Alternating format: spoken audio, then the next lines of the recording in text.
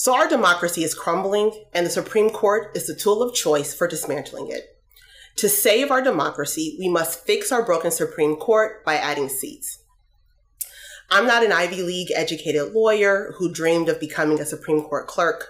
I'm not a constitutional law professor at an elite university, nor am I a reporter who has special access to oral arguments.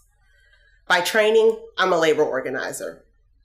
Organizing workers across the country, I've learned that if someone with more power than you is telling you to trust the system and keep your head down, they're probably doing well under the status quo, and you're probably being screwed.